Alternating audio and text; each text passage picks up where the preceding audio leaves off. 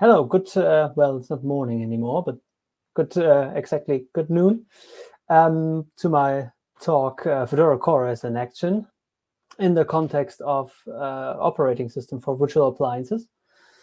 And uh, when I started to think about uh, giving a talk at DevConf um, in general, I thought, well, Fedora CoreOS, surely I will be the first one. Turns out, absolutely no. If you just look at the talks given at DevConf about CoreOS in general, um, there are a lot of talks. And um, so uh, a lot of topics were already covered.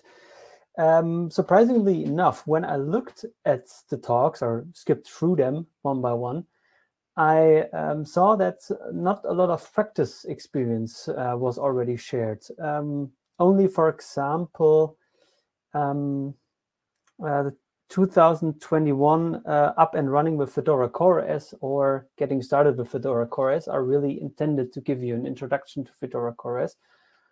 Um, a lot of the other ones are just deep dives into certain features or certain aspects or uh, yada, yada, yada of Fedora CoreOS. So that was a bit surprising. Um, so I thought, well, that's a good gap for me because I have a little bit of um, practical experience I can um, give you about Fedora CoreOS. And um, this is uh, what we are um, talking about today. So what do I mean with in action? Because that could mean any anything. Um, this is uh, the concluded experience from mainly me, but also um, some colleagues in current company uh, or in former companies. And um, when I started working with Fedora KS, um, we basically then started uh, from scratch. So there wasn't really anything.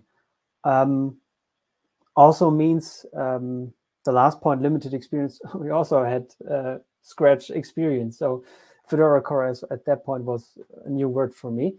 Um, and also virtual appliances were a new word for me.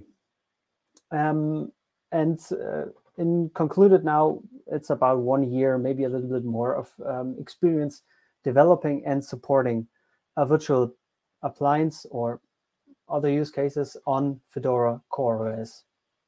So I have some things, and I matured in a way, but to that point we will come. Good table of content. Um, I will give a very quick basic introduction to um, what a virtual appliance is, what a Fedora Core OS operating system is. If uh, this will not be um, enough information to you to fully understand the whole slides, uh, well, good thing. Um, hopefully, there will be a YouTube video of uh, of this, if nothing goes wrong. And um, so you just recheck um, the links that I put into the slides, and uh, then just have uh, look at the talk again. Um, then uh, we will come to, okay, I now understand what a virtual appliance is, what a Fedora Core is, is, meant to be. Uh, how do I actually get started developing? Again, here we'll, we'll provide some links for further um, reading and um, testing, tutorializing. And um, once you are over the proof of concept phase, now it gets into the real interesting problems there. How do you actually get production ready? How do you uh, make now this proof of concept into a real product that your customer can actually use? And uh, off that, or after that, um, my personal experience or more personal experience, um, especially points that we did that I think uh, I did not use as intended. Uh, and then, of course, the normal last chapters conclusion questions, uh, thanks, and uh, the appendings if we have the time. If not, uh, you'll have to look in the slides. Um, also, note that um, please put your answer or questions directly into the chat so they are not forgotten, would be a shame. And then I will go over it at the end. And, and furthermore, as mentioned already, I will have links all across the slides. and they have cryptic numbers just on them, like you see in scientific writing. Um, so um, be sure to access the slides as a PDF um, in uh, .sched, I'm not sure, uh, the, the schedule thingy website where the slides are uploaded. Uh, so you can actually access them for further reading. Good. Oh, and um, I'm trying out uh, a lot of stuff today with this presentation. So please give me feedback with anything that you uh, that occurs to you as um, as feedback worthy. Good. So let's start finally with the talk itself. The basics. So uh, what is Fedora Core? CoreOS? Fedora Core CoreOS at first is a quite minimalistic operating system that has uh, one major focus, uh, or one of the major focus is container execution. So uh, this, for example, means um, you do not have to think about which container execution, um, uh, how it's called, uh, container runtime do I need, which one do I should I install, which one can I install, is actually supported with Fedora OS. You just get Podman out of the box and it runs really well. And it's also really well supported. I never had problems with um, Podman on it. Um, another interesting point is uh, Fedora CoreOS is not like uh, your usual Ubuntu, Manjaro, Arch Linux image. So when you first boot Fedora CoreOS, uh, you will see that there's no such thing as an install script, as an install graphical user interface, nothing. It just boots up. Basically, what you have for Fedora CoreOS is always uh, a disk, more or less, with the full operating system already on it. So the startup is also pretty easy in the first setup. Um, beyond that, uh, we have that first setup, but that is just more, more or less a skeleton. You fill that skeleton with something called uh, ignition. Um, and this ignition uses, if I'm not wrong, Cloud Init to do certain stuff in the in the operating system during boot. So, for example, uh, creating systemd units, uh, creating files, creating folders, whatever you like, um, has a lot of things you can do. And also a note, uh, this is mainly where uh, I developed uh, Fedora CoreOS. I did not touch Fedora CoreOS itself. I mainly interacted with the ignition and uh, which files do I put where and scripts and what yada, yada, yada. Um, good. And um, also very interesting about Fedora CoreOS, which will get important later also, is some parts of Fedora CoreOS are immutable. Um, there's also quite interesting block entry. I think it's link number two, um, but also have a look at that because often it's referenced as an immutable uh, operating system, which it is not. Otherwise, you could not write anything anywhere. You can write to certain folders, so it's just partly immutable. But even though just some parts are immutable, that can greatly help later on. And then uh, what is appliance or virtual appliance? Appliance is a package that contains all your software in one package. Uh, everything is included to run it. So um, the virtual appliance is just the same thing, but with the operating system. So basically, it's a virtual machine, but uh, your application is on there, default configuration, maybe um, default resource files, whatever is needed, uh, that your application as a default instance of what you want to deliver your customer is already there and just needs a hypervisor or bare metal and then go. Um, yes, so that's oh, not a bare, not bare metal, just hypervisors in that case. Um, so that's a virtual appliance. And now, why should you choose exactly this combination? Because you can deliver a virtual appliance more or less with any operating system. As I said, with Ubuntu, with Arch Linux, with whatever you like. Um, I think Fedora CoreOS is a good match for the reasons just uh, said with the minimalistic idea of the operating system, but also it's quite easy to maintain for uh, certain reasons. And um, by that, I mean, uh, it has a feature that's automatically applies updates. And uh, they are very careful about applying updates in such a manner that uh, it does not break any system. So uh, it's not just some update and, well, if it breaks something at the operating system, we don't care. It's carefully done. Of course, there will be breaking changes, but that's another matter. Um, good. And also, it's just another way to ship your application, especially I have the feeling that software engineers in my generation of software engineers uh, always think about containers, and there are only containers. Uh, but of course, it's not only containers. You can ship your application if it's a Java application just as a jar. If that fits the exact use case you have and the customers you have and compliance and whatever controls, maybe that's a good solution. Maybe also the virtual appliance is a good solution um, to also deliver a virtual machine with it. Could could be a good good fit. Um, and of course, there are official use cases and also what I like anti-use cases for Fedora KS. So that's pretty nice. And I see that I'm talking too much about the basics. So just uh, make it quick with the next point. Why did I choose it? Well, I did not have a big choice. It was uh, legacy when I started working with Fedora CoreOS and virtual appliances. They already had, uh, there was already a proof of concept. So that's that's it. And currently, I'm working uh, Fedora, Fedora CoreOS just because I now am used to it and I enjoy it very much. Good. How do you start developing? That's a very short slide. Um, usually, norm, oh, hmm.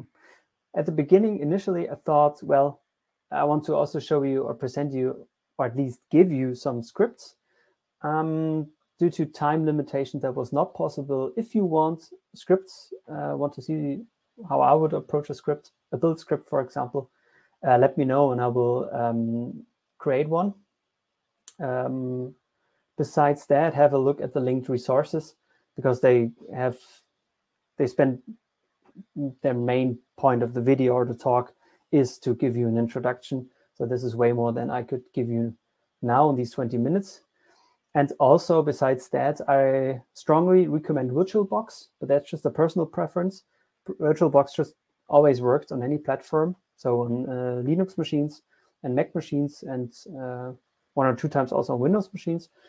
Uh, VirtualBox just worked for this combination Fedora CoreOS and virtual appliances. Uh, I also tried uh, QEMU, for example, on Mac um, in preparation of this talk, and somehow I was not able to fully uh, get it to work. Not sure why. And also VMware, for example, needs another step until you can import uh, a virtual appliance.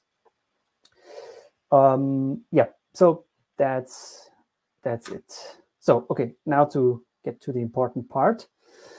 Um, so when you are thinking and you have your proof of concept already there and it works to some degree pretty good and you think oh well we shall continue with that one and then there's the question okay now how do we get this to production?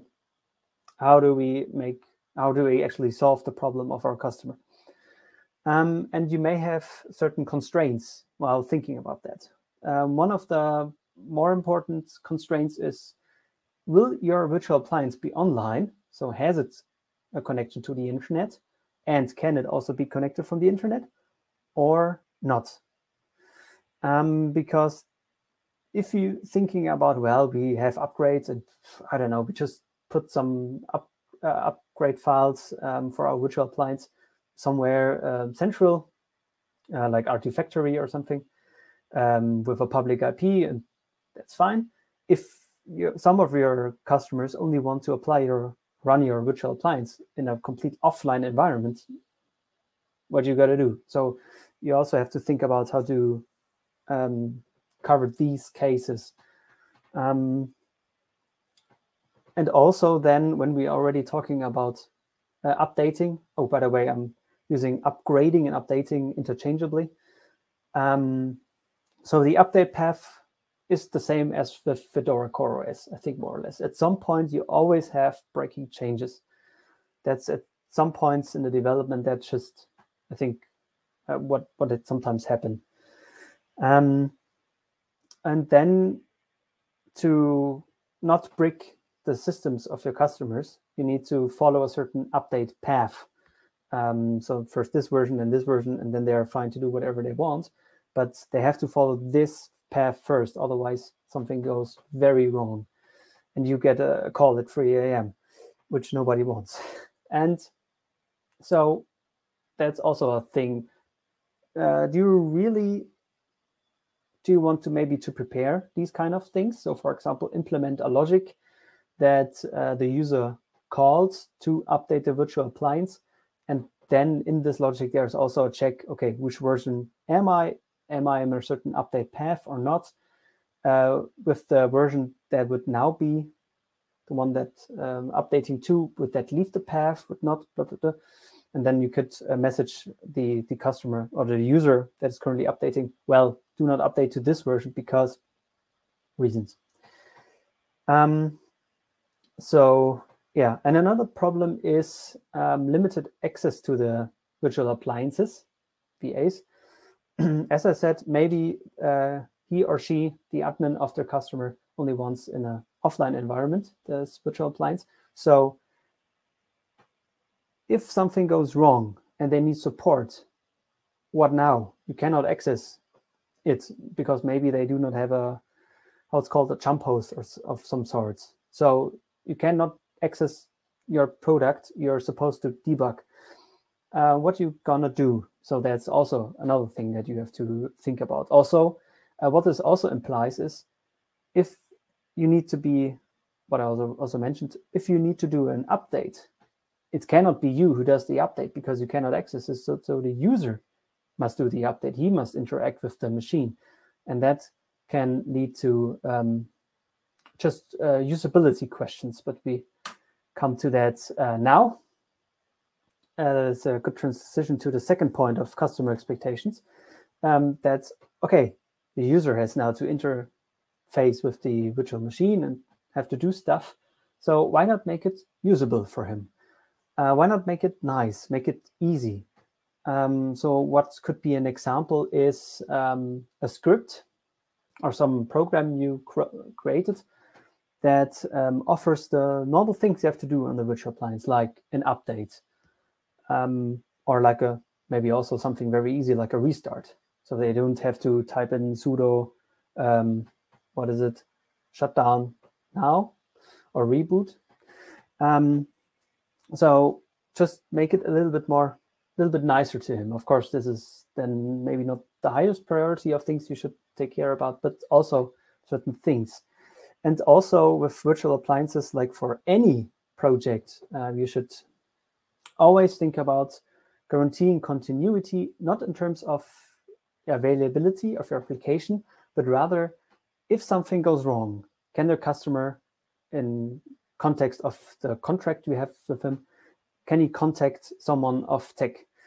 If uh, someone of the team gets sick, can someone take over? especially if some critical bug is occurring, uh, and so back and so forth. Or um, the all well-known um, truck factor or lottery factor, bus factor. If someone gets hit by a truck, next day you lost your virtual appliance guy. What now? So, of course, as in any other project, you need documentation, you need testing, basic, and um, more people need to know about the stuff but that sh should be quite the basics. Um, yeah, and support considerations. That's what I meant. If it's completely locked and you have limited access in terms of maybe no access, then you cannot get first-hand access about bugs at the customer. So you cannot directly access a virtual appliance and see, is this file still there? What does this file contain? What version is blah, blah, blah running? You have to think about what can your customer do to send you certain parts of the virtual appliance so you can then debug these parts. So what uh, you could do, for example, you can make um, uh, like a like a zip file or tar file or whatever that contains specific configuration files or folders or elements of files that are now then um, packed together and then um, are this file is then somewhere on a well-known path on the virtual appliance, or maybe even um, retrievable via HTTPS. Uh, for I'm sorry, Michael, to interrupt you, but uh, we hit 20 minutes mark, so we should slowly uh, go to Q and A. Yeah. Uh, so please uh, finish the idea. Good. Good. Uh, then I talk way too much. Um, so um, then to finish this very important point is here comes the um, pros of the immutable part of your system. Because if the virtual appliance at the customer is the same version as you're on a development machine, then this means that uh, it looks the same. This, these parts of the system look exactly the same. You don't need to debug those. Uh, what you need to debug is the mutable parts, and that's exactly what this package then would be for to debug um, what they changed. Good. Uh, besides that, um, good points. Uh, yeah, one one uh, thing uh, still to mention before the Q and A is the ignition file, uh, because we or or I did it horribly wrong. Um, ignition is meant to be used once at the first very first boot of the virtual appliance. That's the idea. What I did is executed every boot. Um, so this is absolutely not how it's meant to be used. But on the other hand, you know that certain files and folders after a restart look a certain way. So you more or less extend, yeah, the term immutable is not really right here, but you know how certain things look like after a restart. So this extends the immutable part of the system. So that's actually, in this case, we had, uh, I had luck, it worked out well. Good, and um, yeah, said have to skip these things. Um, yeah, okay, we can come to the Q&A. Uh, thank you for the interesting uh, talk, Michael. So it seems there is one question for now uh, from uh, Clement Verna. Uh, do you have virtual appliances using Fedora CoreOS testing and next stream to test early the OS updates? Oh, um, yeah, um, good point.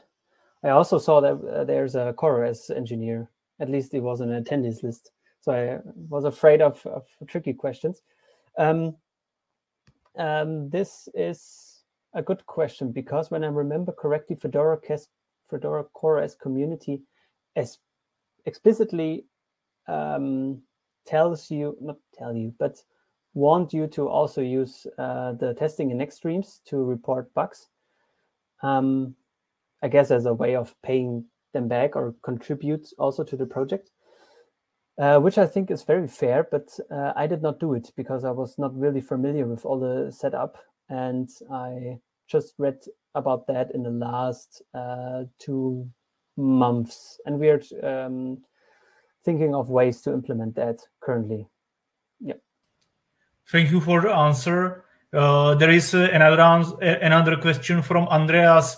Uh, from Andreas is there a documentation or how to uh, deploy a, a, microshift on Fedora CoreOS?